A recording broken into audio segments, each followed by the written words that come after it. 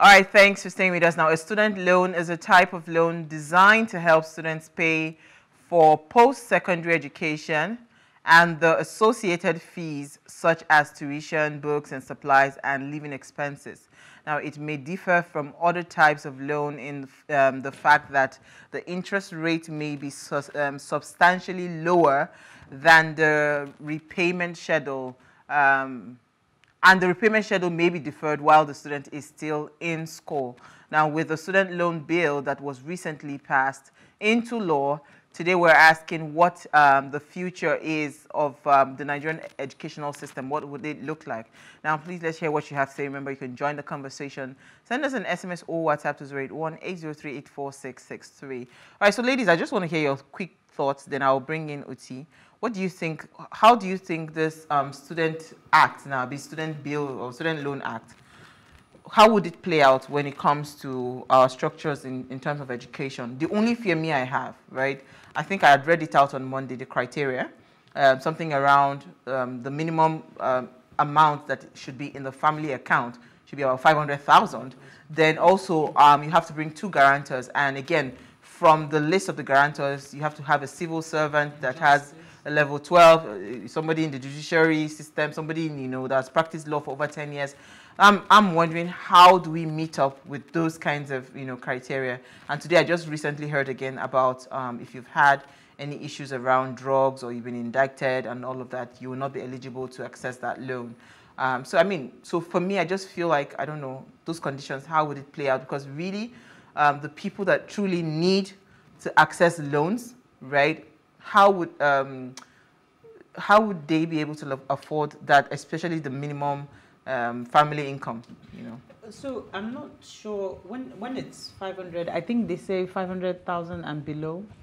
That's the eligibility. Oh, is it below or above? Yeah, below 500. Oh, below really? 500. For you're earning? Oh, yeah. okay. That means I must have gotten it's it all wrong. Below 500,000. That's, okay. that's, that's per annum. That's so your income should be below 500,000 per annum, per annum. Mm. not above? No. Oh, okay. No, go ahead. Below. Oh, that means my so, bad. Yeah, so there's that. And then I understand where you're coming from saying you don't know how it will affect because these are people, first of all, 500,000 is even on the family level because if, if it's a student loan, I don't know how you have 500,000 in your account. So I think this is from the family point of view in terms of your parents earn less. No, that's how that is actually a family family, yeah. family So it's account, less than yes. you you earn your parents earn less than 500,000 and you require a loan. Fine, but you being able to then again they have put all these measures in place.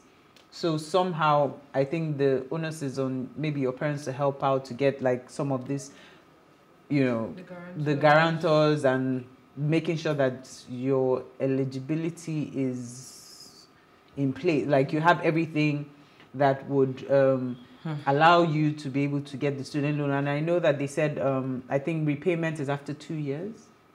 Mm, so that, two years after NYSC. After completion of school. Yeah. After okay. NYSC. So they're expecting that within by then the, you should have gotten a by job. then you should have gotten a job. But also they have to consider the fact that the Nigerian the way the Nigerian the system is, the job market is not very easy. So how, what would happen? And I also know that they have also brought out, you know, what would happen, you know, consequences okay. of not being able to repay the loan, mm. you know, jail, this, that. So I'm wondering how, how is it going to go? It's really surprising because for me, growing up, I never knew anything about student loan. I schooled in Nigeria and I never knew anything about student loan. But I so, hear that our parents had student loan. Really? Well, yes. between their time and our time, it's kind of got it's, scrapped. Yeah.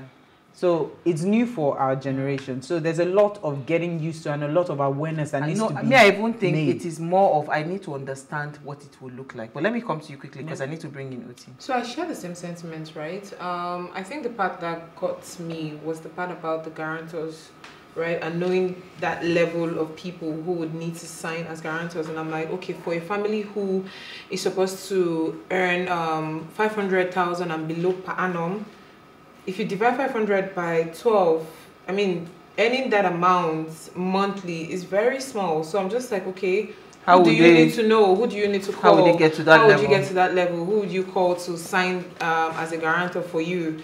And I feel like a lot of people will be very skeptical to want to sign knowing that okay you don't really have money like that. So yeah. Okay, so let me bring in Uti Alu with experience in various disciplines, including customer experience, customer service, customer loyalty, digital marketing, strategy, content development, and training, both in public and private sector um, across two continents. Uti Alu has been exposed to um, exposed to and benefited from student loan system in the UK, quality education, varied business styles, strategies, and approaches. And uh, as you already know, she is a proud member of WAYS.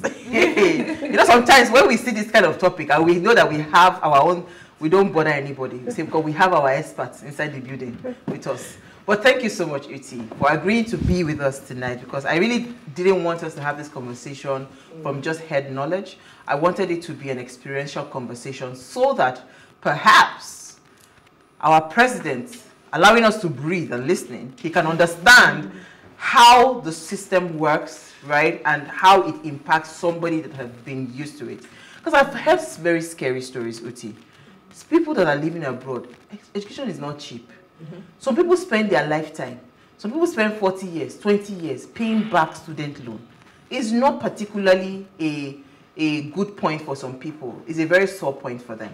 So, I mean, with what we understand Nigerian system to look like, if you want to ask, um, assess what's it called, what the future of education would look like with student loan structure in place, what do you see?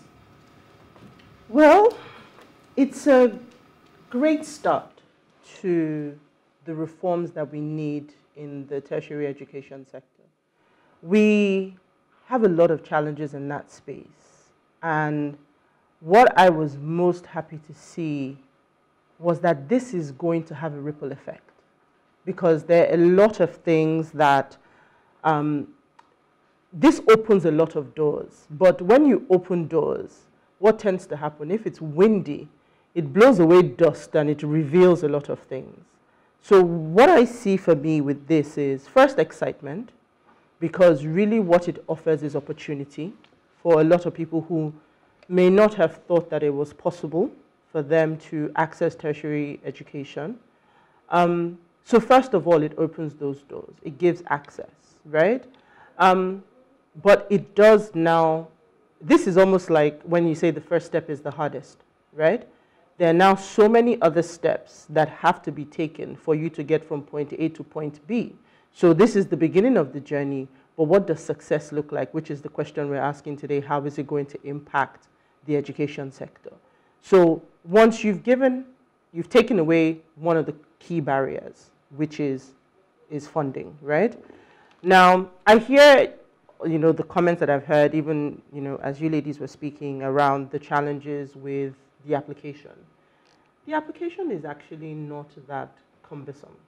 The truth is, if you were getting a job today in Nigeria, a graduate job, you'd provide guarantors. You would have to.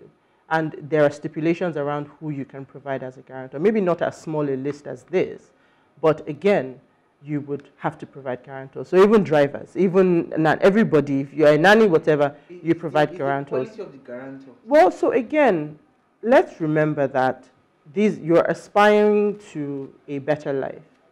So, one, Nigerians, we make a way. Where there's a will, there's a way. Mm. So we will find people, right?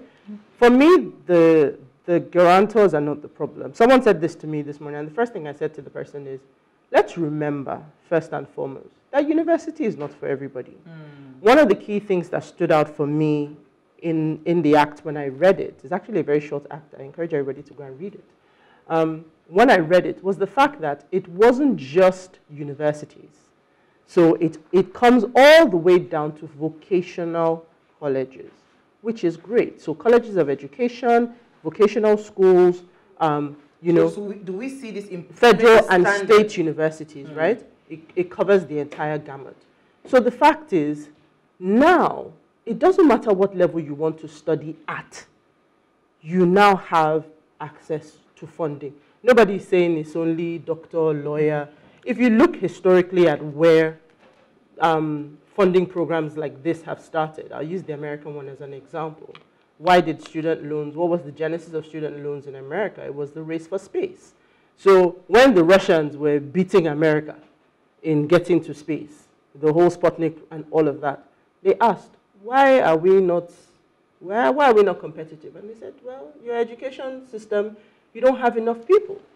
So they started off with um, technology sort of based sciences, math, and all of that. Um, those were the first people who ha had access to loans in America. And then they then broadened it, they changed the act, and then it became sort of a higher education fund. And they've gone through various um, circles, various uh, rewrites of their acts, their policies. They've gone through. In fact, I think America has tested it the most, mm. both from federal loans to private loans to a mix.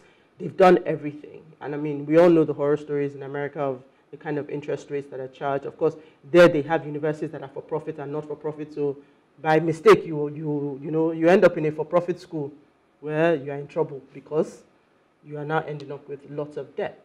So it essentially is a good entry point, right? It's, it's the beginning of the journey that we're on, and I'm sure as we go through the conversation, we'll talk about what that journey is going to unfold and the areas it needs to impact. Because one of the key things for me that I said with this was you are going to bring in, or rather, let's take, for example, that this program is hugely successful, as we hope it will be, and you pour out a million graduates, then you don't have a million jobs. That's how loans start to default. Mm. Yeah. It's so interesting. So when you talked about um, expanding it to colleges of education and all of those things, right? Do you see this like improving the quality of the education that we begin to get from some of these schools, right? Since I am paying, mm-hmm. you know, I've, okay, they say there's availability of loans and all of that. Since I'm paying for it, why can't I get a standard quality education? right? Do you see this improving, impacting on the, not just the fact that, okay, people will now go to school, but the quality of what comes out in terms of the, the graduates, what we're turning out. Do you see this improving it in any way? Yeah. So, again, there are other reforms that we expect to see. First of all, let's be clear. When we go abroad, Nigerians are happy to pay more for education. But in Nigeria, we like to pay peanuts, right? Um, and we expect it to be subsidized by the government we, we've largely had that culture for a long time. Good things cost money, right? Equipment, education, good lecturers, good professors who are world-renowned, these things all cost money. When you look at CVs of MD, CEO, you see Harvard, you see INSEAD, you see uh, ISA, you see all these schools, Oxford. right?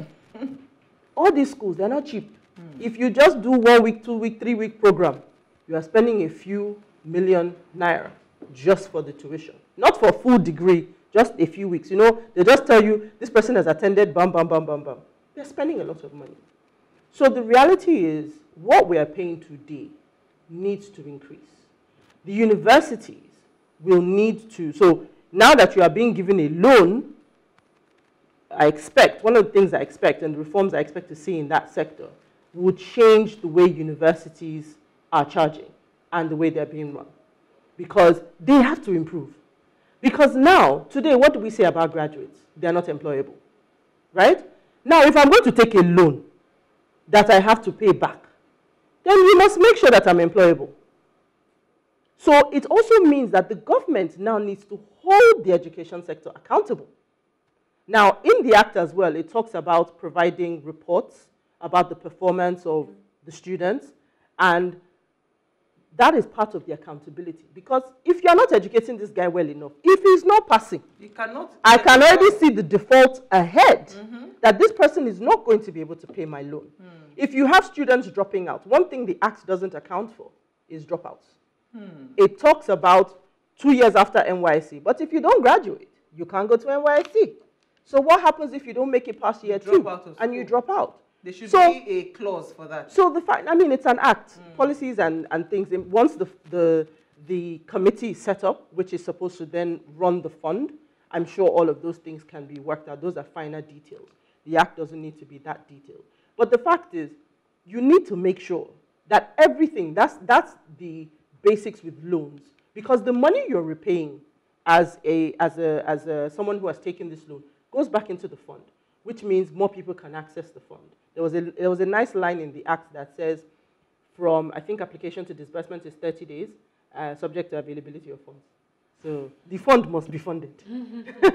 so we have to make sure for this to be successful, there must be reforms in the education sector. The quality of information um, of education must improve. The quality of the graduates must be improved. That then leads to higher employability. But then that also means that other parts of the economy must improve because there must now be jobs for them to go into. When we're even looking at the, the schools and things that, so the, remember I talked about the colleges of education and vocational studies. Mm. You now need to look at, you're creating a better standard of teachers, people who are now going to, you know, it, it, I, what I love about it is a ripple effect. The minute we get better teachers who are going into our primary schools, our nursery schools, you start to get a better quality of people going Education. into the tertiary um, yeah. um, uh, level. Yeah. Because right now, we're missing for a lot of people the skills that children learn as children. When we talk today about Gen Z and we laugh, a lot of the challenges we have there is an absence of critical reasoning. These are things children pick up as children. The ability to unwind your imagination because you've been taught the art of storytelling, of creative thinking, all of those things are missing right now. So you can because see the that quality of the teachers that are coming yes. out of colleges of education do not Thank have you. that capacity. So when you look at all the other curriculums, these curriculums are developing as they go on. Mm. The Nigerian curriculum is still one plus. You get what I mean? So you, when you're talking about how it's going to impact the system, you can start to see that beyond even just money and the graduates, you can see the ripple effect. Mm. Then you talk about on the vocational side. Today, when we all talk about artisans, we pull out our hair. But the truth is, imagine if we had well-run vocational In fact, eh, schools. I want us to come back to that because there's something you talked, you touched on when you were talking about America that I want us to revisit. But let's go on a very short break. When we come back from that break, we'll continue the conversation.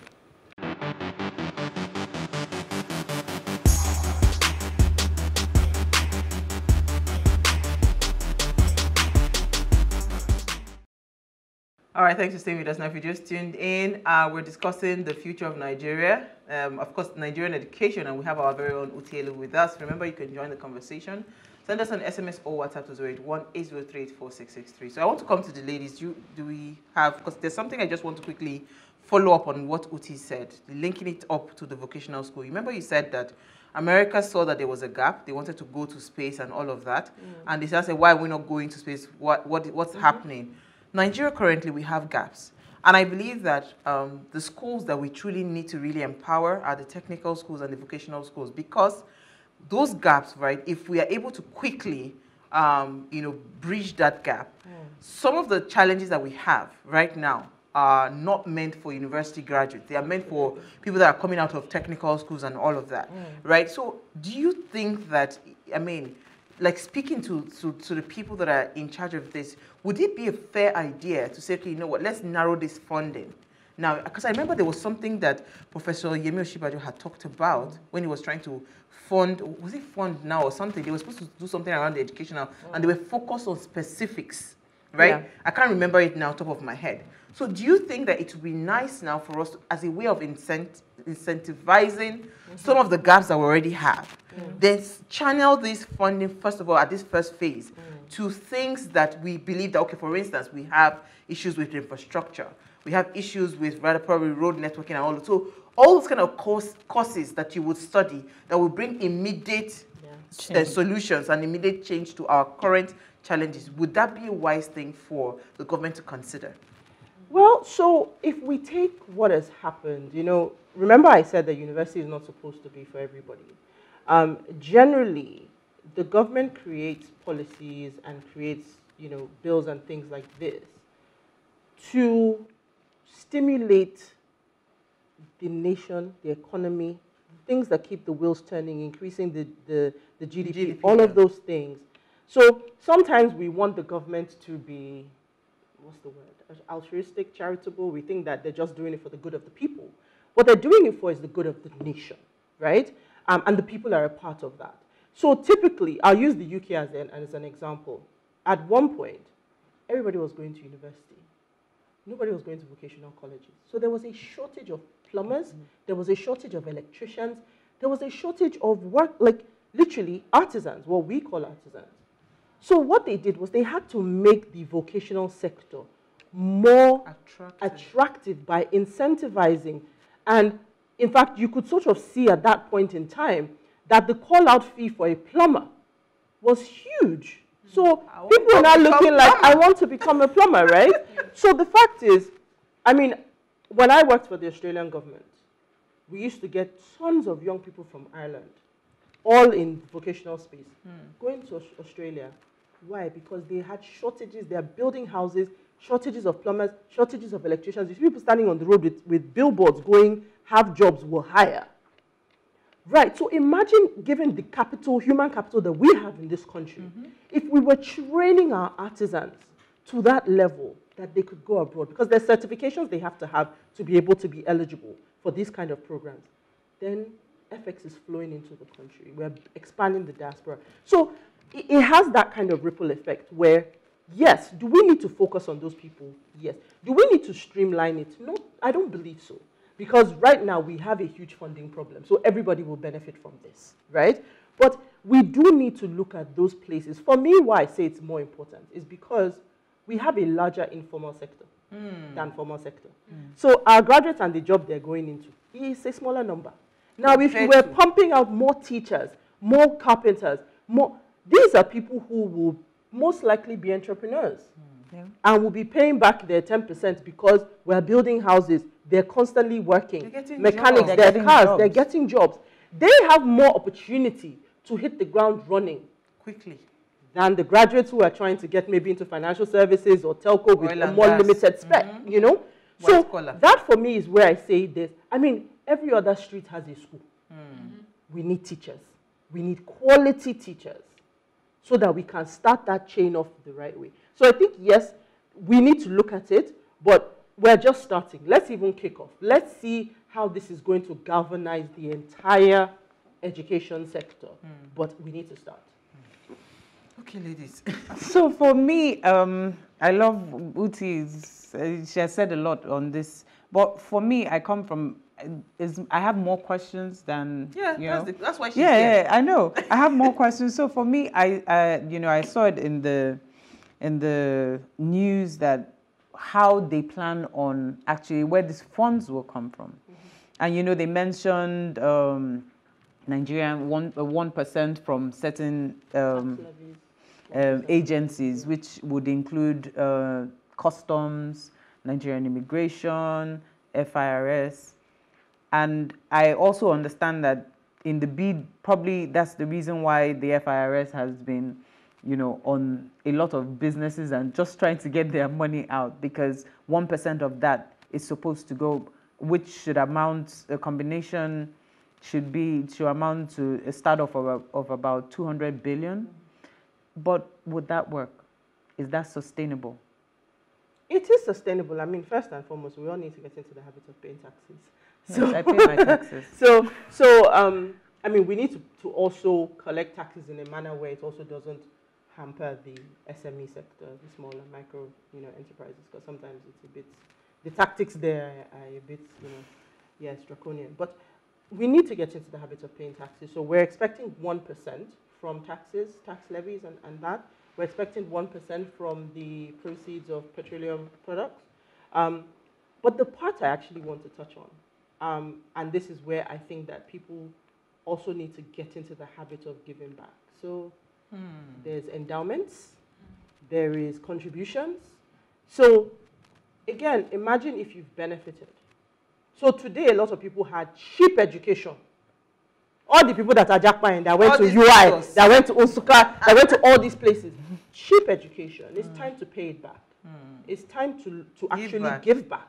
Right? how do they put that structure in place? Because most of Again- the Ivy League schools, mm-hmm. right, they are Alumni. They, Yeah. It's an alumni structure Yeah. that actually, all this one that you say you have full scholarship to this, to that, it is somebody that is funding it. it. They're paying back. So how do they put that structure? So again, remember I said that this is early days, right? And everybody so far has talked about the 1%, 1%. Because again, we still have that mindset that is from the government, hmm. is from central money. Hmm. But you can actually do something. We, we all have to collectively come together to fix our problems. It can't always be from the center, right? So yes, a lot, I mean, that committee, when it's set up, I mean, I liked the spread of people that are in the committee. So, um, Minister of um, Finance, Minister of Education, even representations from ASUU, vice chancellors. So, we have a lot of stakeholders who will, you know, we have conversations like this in terms of how it's actually going to look on a day to day. But I like that you talked about scholarships because there are many ways in which to fund education, Yeah. right? Today, when people go abroad, you see people saying, Oh, I have a scholarship for um, a PhD in this. Because why?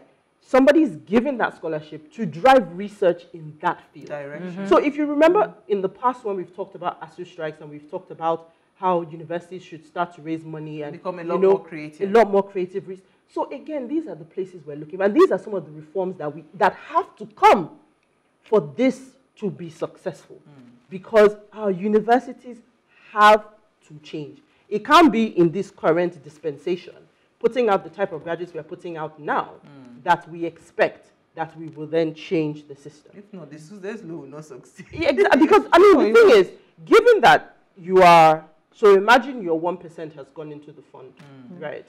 And we we need to monitor this. We need to see the numbers. So in the UK, they went from a bursary structure. Um, I missed that bursary. God, it was like by one year. So I was going to go into university in September. They ended the with people that went into university the year before me. So I was like, "Kai." so I was the first set to take on the new Student loan. student loan structure. And it was, it was they, they increased school fees also at the same time. Um, these loans help people to come into university, help the universities to get tuition. It keeps the system running. It's like, you know, a, a, a, a lead generation type of, of thing Yeah. there.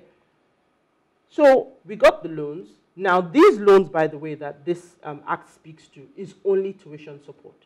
So it doesn't have any maintenance fees.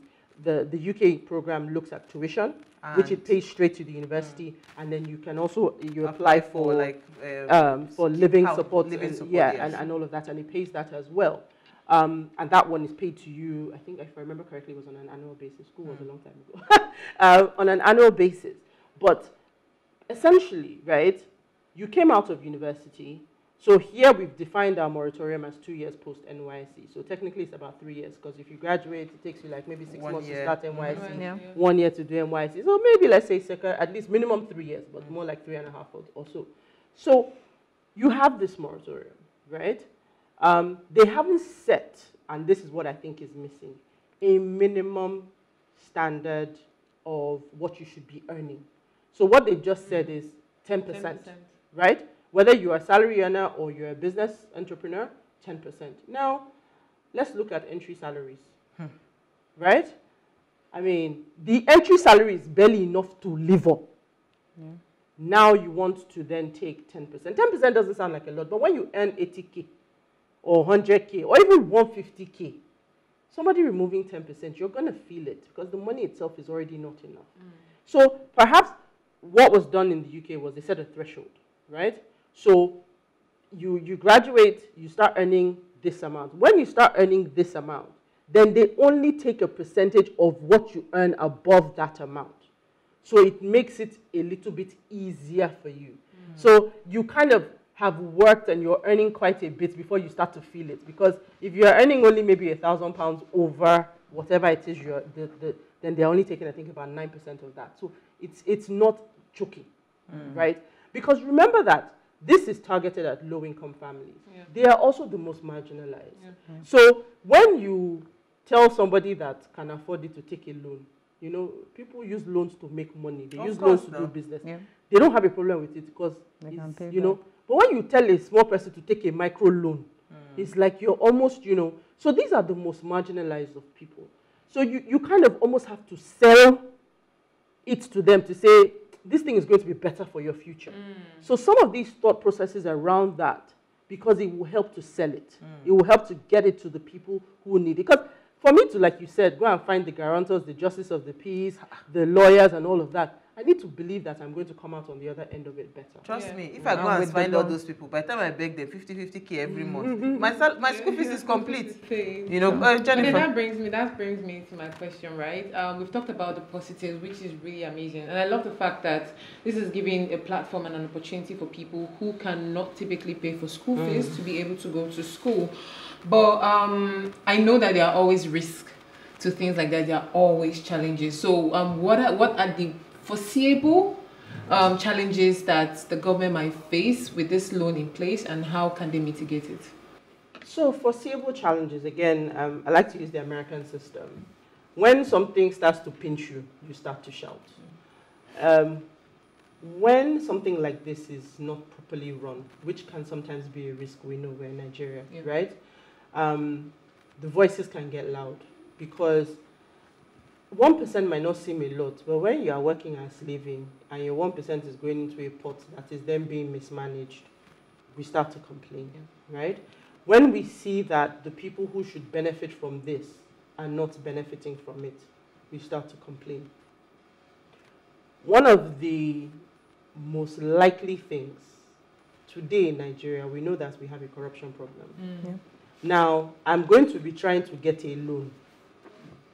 If this process is not fully automated, if you have to sign, you have to sign, you have to sign, and I have to no bribe my way through You don't Yeah. cancel. you've killed it, Yeah. Hmm. right? So the things that we know that are particular and unique to us as Nigerians and our culture, it needs to be addressed. So it says now that the application comes through the person's bank. Again, I have a problem with that because even banks, there's enough problems there already. This is a system that can be fully automated because one, you, my, my process of getting uh, an account, no, um, getting my admission, all of those things, JAMB has been sort of digitized. yeah. All of those things have been digitized. So it is a process that can be automated, that can be done, even in collecting these various details, right? It can be automated. It doesn't need to go through. The thought of going through the banks is like, okay, because I'm going to pay money, but you're not paying money to me. You're paying money to the to the institution directly. So CBN to the fund, fund through the deposit money banks to the schools. I don't actually think you need the deposit money banks in that process at all. Um, the fund in itself could have its own funds warehouse somewhere, and the fund could move money directly to Yeah. the institutions. You just need to get financial experts Yes. that have under- So- understand the system to run the organization. to automate that process so that I can go in and I can do it fully digitally. So that takes away the need All to see all anybody, beg anybody, bureaucracies, bottlenecks. yes. I- Because they've said 14 days, 30 days in terms of feedback and, mm-hmm. and disbursement and all of that. For you to achieve that, it, technology must be involved. Yeah. For you to curb any sharp practices, technology must be involved. So I'm hoping that when this committee is set up, because the act gives them space to, you know, make whatever partnerships, do whatever they need to do to run it. So I'm hoping that they will leverage technology to deal with some of these risks. Again, the reason why I say so, this is where ghost students will start to turn up. and the minute we start to have ghost students, that means that we're increasing default loans Yeah. in the future Yeah. and we're making the pot smaller, Yeah. which means that in the long run, because I understand that there was a, um, a student loan board that again, due to defaults and, and issues like this, it was scrapped sometime in 1984. So the reason why we did not benefit from it was because of these problems. So again, risk-wise, mm. if those learnings are not taken, if the sharp practices are not dealt with, we will end up with monies because the money goes to the university. Mm. If the university has autonomy to spend the money, let the money come to me and we will all share the money. Mm. It's possible. So Yeah. there are those leakages and gaps that we need to plug. The quality of the education, like we said, is a huge risk. So we've talked many times about how we manage performance. If the corporate sector can manage performance well, the government needs to learn to manage performance because we now need to hold the lecturers accountable. If your students are failing, what is the hmm. problem? Hmm.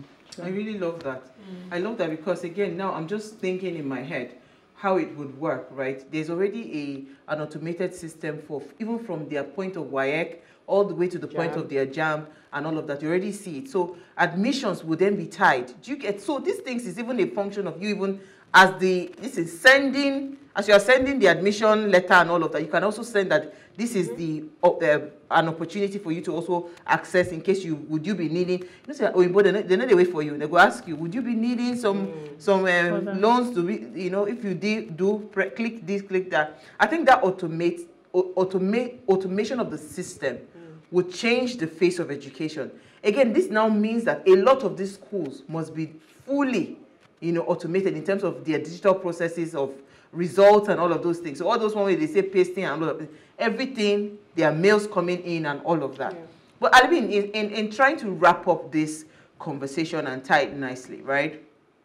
We all say that, I think recently, I mean, I just heard a breaking news that the EFCC boss have been suspended, you know? So there's, there's a lot that is going on all at the mm. same time yeah. in Nigeria, right? And it seems to me like um, because again, we've, we've, we, I think we've said this thing several times that the, the, the key in, um, sectors that have really suffered the most, right? And if they were running well, some of the problems that we are facing will not have it. Yeah. Education is one of them. Healthcare yeah. is another one, and um, of course, transport, transportation, infrastructure, you know, and all of that. Mm -hmm. Agriculture, you know, if so, and the direction, power, power sector. If you see the direction of where the president is going, He's touched on power. He's touched on education. He's touching on uh, on on the finance, the yeah. economy, right? That's with the CBN, um, now with the money policy about you know the dollar market, market forces mm. determining and all of that. There's a lot happening, yeah. right? But how do we get these loans to really, really be the the interest to be a bit bearable? Some economies we want to breathe. Some economies, Uti, 2% are on their loans. Mm -hmm. Especially for like people that want to do businesses, like if you want to start up a business, 2%. Yeah. You know, since we know that this sector is really critical to the transformation that we seek in the country, how do we get how do we bring that that interest rate? Well, I mean, first of all, for the education sector we're talking about, these loans are interest free, so that is great. Um, another reason, again, why we must keep the defaults low, because there is no additional money. The money that went out is what is coming back. And that money is not only servicing the loans, it's going to service the employees of the funds, whatever is being spent, all of that is coming out of that bucket. So really tightening and making sure that that money, one naira, one kobo in fact, doesn't go missing is very, very important. Mm. Um, the concept of interest for loans, there are many factors that go into what the interest rate is. Monetary policy. Yeah, but this one we've seen that shouldn't be one percent of all of us who will work the one tax. Yeah, but this one is not going to be interest. It's interest free now, so there's no interest on. You are sure? Yeah, it's interest free. The interest free. Interest free. Okay, because no, ah, me I know Nigeria. Before they wake up, say ah, the no, way it, is. Managing the money, your banks will not tell us that uh, they have there are some. Just like Uzi said, we'll have to wait to find out because it's tied to Let's the needs. Yeah. So eventually we'll find out. They'll I make adjustments. One of the reasons why I actually went through the act, I kept reading and reading. I was looking for that interest. I kept looking. I you like, didn't see it. Okay, okay. that's good. Let us be praying. So we have a comment here from Osagie in Benin. He says, Madam Uti is our lecturer today. Yes, so. a lot of sense. Yes, so. Go ahead, allowing us to breathe. She's allowing us to breathe. Our educational system is not rooted in our social cultural experiences. It is very foreign and alienating to us. Other nations like US build their educational system within the context of their culture. They learn from their culture, they study from the known to the unknown. While our educational system is very imaginative, uh, we imagine a lot of things. Our educational system is very theoretical uh, without practical relevance. Until our educational system is made more practical in its approach, it cannot contribute much to the development of the nation. In us in us, for example, students can work while they study. In the US, yes. Oh, in yeah. the US. Um, the students can work while they study, but um, here we, uh, they gather us in one place in the name of school without the hope of giving, giving work after school. We must create the educational the education that encourages students to work while they study. This is from Santos, and So, so Santos Wait, makes wait, one sense. makes very But good we sense. actually don't. So it, that is not really the fault of the education system. Mm. We don't have an employment culture for Mm. part-time work. Mm. What we have here is graduate. You work. must be a And You graduate. must be a graduate. So Full-time. there, there are reforms that No are room needed. for Yeah. yeah. there are reforms that are needed there. To But he does done. make a point. Um, So we will, we in- will bring you sense. back for employment reform. Uh-uh. Topic has While- come out whilst, whilst in school as a student. but thank you so much, Uti. We had so much fun. Ah, thank you, ladies. Now, before we go, ensure you follow us across all social media handles at Wayshow Africa. You can interact with us further, drop your comments, and more importantly, follow all our engagements on social media, like, share, and invite your families and friends to watch and follow. Now, if you missed our quote for today, debt certainty isn't always a bad thing. A mortgage can help you afford a home. Um, student loan can be a necessity in getting a good job. Both are investments worth making, and both will uh, come with fairly low interest rates. We'll see you guys tomorrow at 8 p.m. as we bring another great conversation to your screen. Ciao. Bye.